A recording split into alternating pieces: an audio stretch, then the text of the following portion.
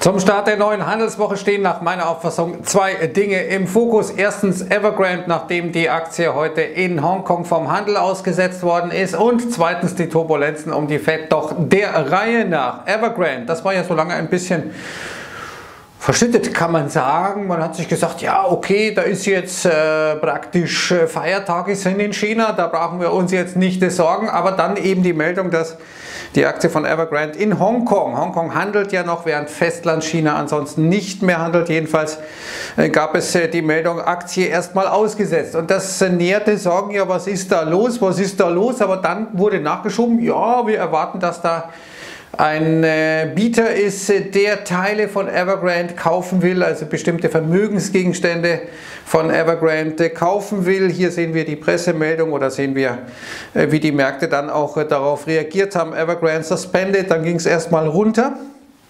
Aber dann eben auch die Meldung, ja, da gibt es konkrete Interessenten etc. etc. Also äh, noch weiß man nicht wirklich viel. Es ist äh, relativ unklar, was da passiert ist, warum Evergrande vom Handel ausgesetzt wird. Wahrscheinlich ist schon, dass da eben wirklich Teile des Vermögens von Evergrande jetzt an den Mann gebracht werden sollen oder an andere Firmen gebracht werden sollen, denn es ist hochgradig nötig, denn heute genauer gesagt am Sonntag eigentlich, aber das zählt dann praktisch in den Montag rein, ist eine weitere Offshore-Dollar-Anleihe fällig im Volumen von 260 Dollar und zwei Zahlungen sind ja schon verpasst worden durch Evergrande. Allerdings gibt es da eine sogenannte 30-Day Grace Period, also eine Periode von 30 Tagen, bis das Ganze als Default gewertet wird, also als äh, praktisch Zahlungsausfall, was die Ratingagenturen dazu zwingt, dann praktisch das Rating auf äh, Zahlungsausfall auf äh, die niedrigste Stufe zu setzen. Jetzt ist eben diese Anleihe, die praktisch heute respektive gestern fällig wird, in Höhe von 260 Millionen Dollar. Die wird bis Freitag fällig. Insofern sonst eben Default gilt. Das praktisch äh, muss in dieser Woche bezahlt werden, wirklich konkret bezahlt werden. Sonst wäre Evergrande praktisch tot mit dem Rating Zahlungsausfall durch die verschiedenen Ratingagenturen. Und hier eine Meldung von Bloomberg eine Einschätzung. China versucht sozusagen so eine Art Zaun um Evergrande zu bauen man versucht, dass da keine Effekte, keine Dominoeffekte entstehen, aber Evergrande selbst will man nicht retten. Man versucht nur den Schaden einzugrenzen, einzugrenzen der durch Evergrande entsteht. Also eine Strategie, die sehr glaubwürdig ist oder die ich für sehr glaubwürdig halte, dass genau Peking das versuchen wird. Evergrande nicht retten, weil man sonst das falsche Signal geben würde. Auf der anderen Seite versuchen, den Schaden so weit wie möglich zu begrenzen, indem man eben Evergrande zwingt, seine ganzen ähm, Assets zu verkaufen, die werthaltig sind, um das Ganze dann möglichst kontrolliert runterzufahren. In Sachen USA, China, da tut sich einiges. Äh, China hat äh, massiv in den Luftraum von Taiwan eingegriffen in den letzten Tagen.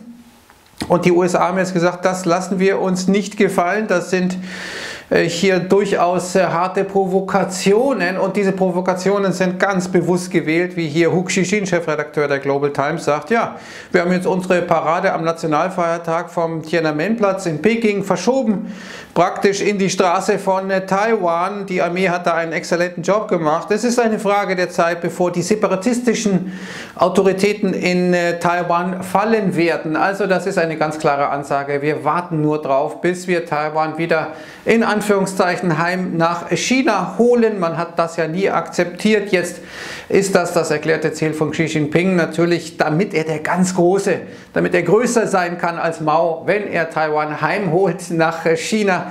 Die Frage ist nur, wann das passiert. Eigentlich jetzt ein guter Zeitpunkt aus Sicht der Chinesen, weil sie als Biden als schwach einschätzen. Allerdings stehen jetzt äh, eben die äh, Olympischen Winterspiele an in äh, Peking respektive in China und ähm, das würde natürlich bedeuten, dass das total ins Wasser fallen würde, wenn man jetzt wirklich versuchen würde, davor hier Taiwan äh, sozusagen heimzuholen. Aber es ist eine klare Androhung, die hier der Fall ist. Es ist eine Frage der Zeit, bis wir uns das holen. Für die USA wäre das der totale Gesichtsverlust. Es würde bedeuten, dass sie nicht mehr die Fäden in der Hand haben. Es wäre praktisch die Kastrierung als Nummer eins der Welt, als Superpower der Welt. Dementsprechend kann man das nicht zulassen. Das wird das Thema des 21. Jahrhunderts werden. Und die ganze Geschichte geht weiter. Die Nachfolgerin von Mr. Lighthizer, den wir ja äh, im Handelskrieg noch sehr gut erinnern, wird heute verkünden, dass die Chinesen den Phase 1 Deal, der ja unter dem äh, seligen Trump noch ausgehandelt wurde, äh, nicht einhalten. Also das Ganze kriegt eine neue Wendung. Dann will man sozusagen Konsequenzen erklären und androhen, was jetzt passiert, weil die Chinesen eben hier diese ähm, Abmachungen nicht eingehalten haben sollen. Jetzt sehen wir, und das ist hochinteressant, dass die Shipping Costs von Shanghai etwa an die Westküste der USA, also von China in die USA, das erste Mal seit Wochen deutlich rückläufig sind. Jetzt könnte man sagen, gut, das ist eine Entspannung, die wir hier sehen bei den Frachtraten. Das ist doch gut, das ist äh, erhofft worden. Aber das Problem ist, warum ist das äh, der Fall? Nun, weil äh, so viele chinesische Firmen nicht produzieren konnten aufgrund von Ausfall von Elektrizität, dass viele dann eben diese Container, die gebucht waren, nicht beanspruchten, dann diese Container praktisch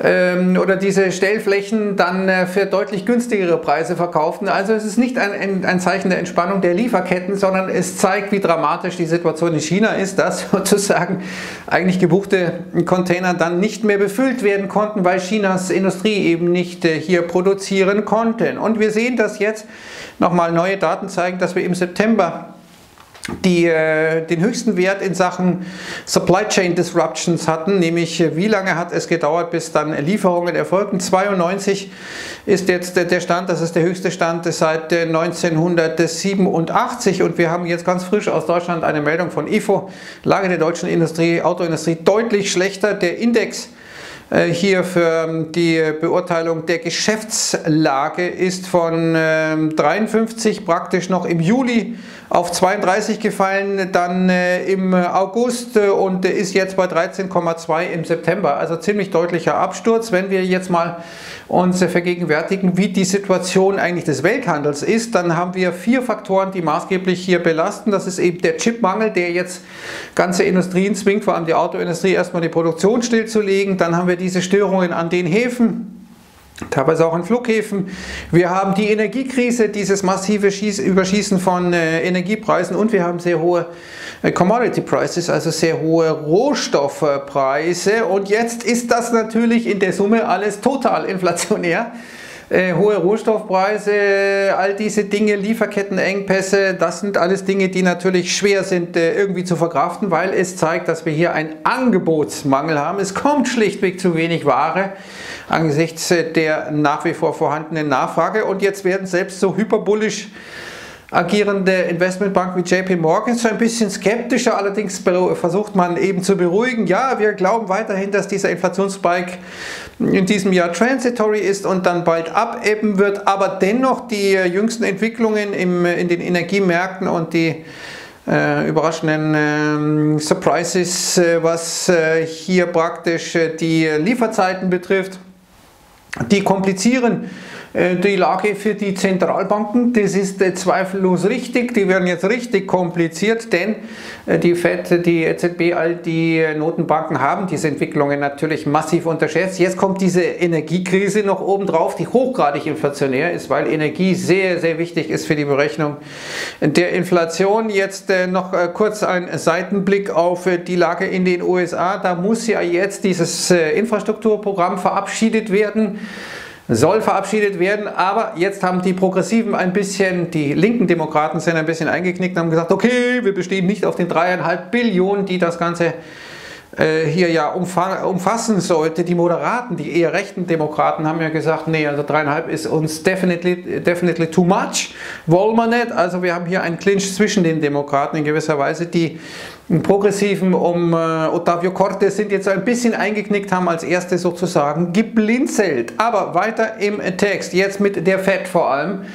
Äh, wir hatten ja die Situation Rosengreen zurückgetreten. Ähm, wir haben ähm, Dallas Fed-Chef Kaplan zurückgetreten weil sie eben aktiv an den Märkten gehandelt haben, die sie aktiv beeinflusst haben mit ihrer Politik. Jetzt ist äh, Richard Clary da im Fokus, immerhin der Vizechef der Fed, der einen Tag vor einer Ankündigung, die massiven Einfluss auf die Märkte hatte durch Jerome Powell, damals äh, Februar, März äh, eben dann Gelder umgeschichtet hat zwischen einer und fünf Millionen aus äh, Fonds und zwar aus, ähm, in, äh, aus Anleihenfonds in Aktienfonds. Er hat also damit gerechnet, offenkundig, dass die Aktienmärkte steigen werden, dass da etwas kommt. Jetzt äh, sagt die Fed, ja, also dieser gute Clarita, das war ja vorher schon geplant gewesen, aber man hat nicht gesagt, das sei ein automatischer Prozess gewesen, vorher schon sozusagen geplant gewesen, aber wann ist dieser Prozess geplant worden? Alles sehr undurchsichtig, jedenfalls rückt jetzt der nächste in den Fokus. Bisher hat es ja mit Rosengrain und Kaplan zwei hawkische Mitglieder erwischt. Jetzt äh, mit Clary da jemand, der genau wie Paul kein Ökonom ist. Beide sind Juristen. Beide kommen aus dem Investmentbanking und sind dann in die Fed gekommen. Äh, da ist also sozusagen die Positionierung am Markt gewissermaßen, naja, biografisch fast schon gegeben. Aber es ist nicht nur Clary da der vielleicht auch zurücktreten wird müssen nach den Rücktritten von Rosengrain und Kaplan, sondern es ist etwa auch Tim, äh, Tom Barkin von der Richmond Fed, äh, einer der dovischsten Mitglieder der Fed, der hat zum Beispiel Unternehmensanleihen vorher schon gekauft, bevor er in die Fed kam, aber die Fed hat dann massiv eben Unternehmensanleihen im Rahmen der Bewältigung der Corona-Krise gekauft. Also auch er ein Profiteur dieser Politik. Da muss jetzt etwas passieren. Man muss letztendlich den FED-Mitgliedern äh, sagen können, oder es muss gesetzlich festgelegt sein, dass jeder, der einen Posten bei der FED dann in solch einer Funktion antritt, kein Portfolio haben darf oder irgendeiner Form muss klar sein, dass da kein eigenes Interesse im Spiel ist. So wird die ganze Geschichte nicht weitergehen. Das alles ist bedeutsam, weil es die Stellung von Jerome Powell schwächt. Jetzt wird ja in den nächsten Tagen, Wochen soll von ähm, dem US-Präsidenten bekannt gegeben werden, ob jetzt Paul nach Februar, wo ja seine Amtszeit endet, weitermachen kann. Ja oder nein. Jedenfalls sehen wir, dass die Wetten weiter in Richtung Lyle Brainard laufen. Sogar Roger Ferguson erlebt ein Comeback. Also immer mehr Bostic jetzt auch äh, im Rennen. Die Wahrscheinlichkeit, dass ähm, Paul weitermachen kann, liegt jetzt äh, laut Wetten nur noch bei 60 Prozent. Vorher war das äh, deutlich mehr. Also das schwächt die Position von Paul. Das sind ja Dinge, die er hätte wissen müssen, unterbinden müssen, denkt man sich, entweder hat es nicht gewusst, dann ist das Führungsschwäche oder er hat es gewusst und nichts gemacht, dann ist es auch Führungsschwäche. Man kann es interpretieren, wie man will.